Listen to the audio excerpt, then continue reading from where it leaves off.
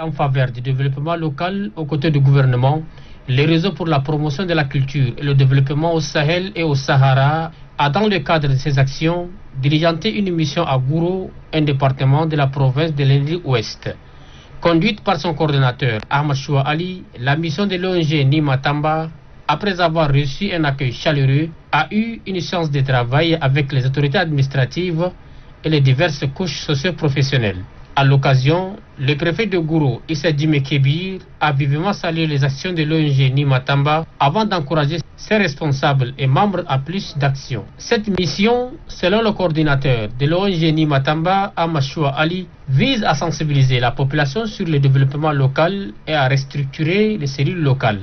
Cette mission a également pour but de mobiliser les membres à honorer leurs cotisations une manière d'impliquer tous les fils de Gourou au développement de leur cher terroir. Le réseau pour la promotion de la culture et le développement au Sahel et au Sahara, de l'avis de son coordinateur, accompagne le gouvernement dans le domaine de la santé, de l'éducation et de l'eau en faveur de la population de Gourou. Ahmad Choua Ali invite la population de Gourou à fréquenter les centres de santé et à envoyer leur progéniture à l'école pour un avenir radieux. Plus de 26 millions a été remis aux 18 organisations professionnelles de la province du Lugon occidental. Et cela à travers le FONAP, Fonds national d'appui à la formation professionnelle, qui est un établissement public chargé de financer les actions de formation au profit de la population active en vue de lutter contre la pauvreté, le chômage et le sous-emploi. Et c'est pour traduire dans les faits la politique du gouvernement que l'inspecteur général du ministère de l'économie, de la planification, du développement et de la coopération internationale Brahim Mahamat Amat Madir, représentant son ministre de tutelle, a remis ce chèque au profit de 490 bénéficiaires. La représentante des bénéficiaires, Dian Oman Lelmbaï Régine, présidente de la maison des métiers, adresse ses vifs remerciements au maréchal pour ses efforts en faveur de la jeunesse tchadienne. La directrice du FONAF, Najwa Mahamat Abdelbaghi, exhorte par ailleurs les bénéficiaires à faire bon usage de ces financements pour la pérennisation de leurs activités en vue d'une autonomisation durable. Le représentant du ministère de l'économie et de la planification définit ainsi le sens de la politique du maréchal Idriss Déby Itno. Le FONAF et les mécanismes que le gouvernement a mis en place pour essayer de répondre à vos besoins celui qui consiste à vous donner la possibilité de vous prendre en charge. Le financement de ces projets concerne entre autres le maraîchage, l'élevage des petits ruminants, l'agriculture et la teinture. Vaste désert de l'Enedi où se côtoient contrebandiers, orpailleurs illégaux, clandestins en partance pour l'Europe via la Libye et autres bandits armés jusqu'aux dents, les douaniers sont en alerte permanente.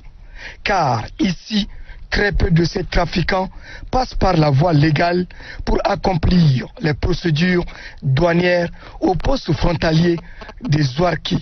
Pour galvaniser ces agents et cadres techniques en service dans cette partie de la circonscription du Borkou et Tibesti, le directeur général des douanes, Abdelkerim Sharfadin Mamat, est allé s'entretenir avec le préfet du département du Tibesti Ouest.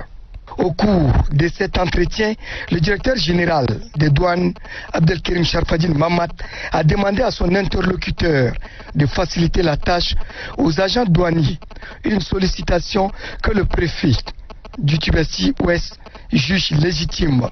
Ces derniers temps, avec euh, Airtel Money, il y a beaucoup de gens qui viennent euh, se plaindre des commerçants. Parce que même s'ils ont de l'argent, donc euh, ils n'arrivent pas à s'y quitter, tout.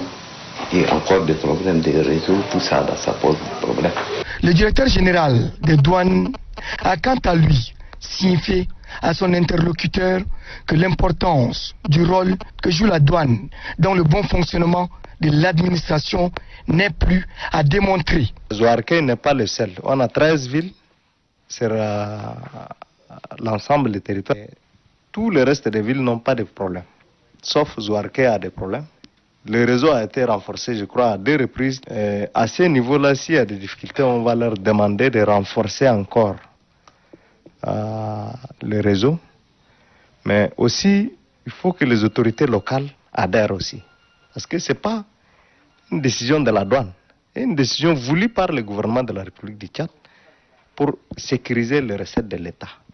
L'immensité du Sahara qui sépare les frontières du Tchad et celles de la Libye, avec ses nombreuses portes d'entrée, n'entame en rien la détermination des douaniers du Tibesti de réprimer la fraude et la contrebande afin d'assurer les recettes et la sécurité. Kadnouba Théophile, Zouarke, pour la télé habite désormais le bureau secondaire dans la circonscription douanière. Ce bureau secondaire, situé au carrefour des axes libyens et nigériens en territoire tchadien, permet de contrecarrer la fraude des produits en provenance des deux pays depuis les frontières, car il renferme tous les secteurs des douanes.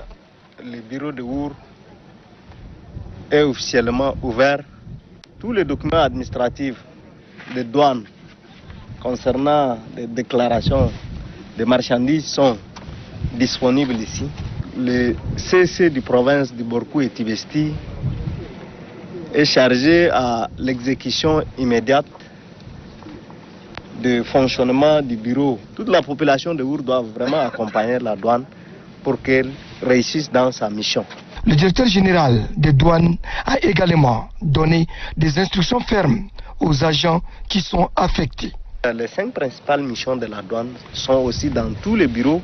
Les agents douaniers doivent aussi donner un comportement exemplaire Abdelkerim Sharfadin Mamad exhorte les autorités locales, civiles et militaires à prêter main forte au personnel de ce sous-bureau, compte tenu de son éloignement de la ville de Our, tout en précisant que l'ouverture de ce bureau secondaire contribuera certainement au développement socio-économique de la circonscription.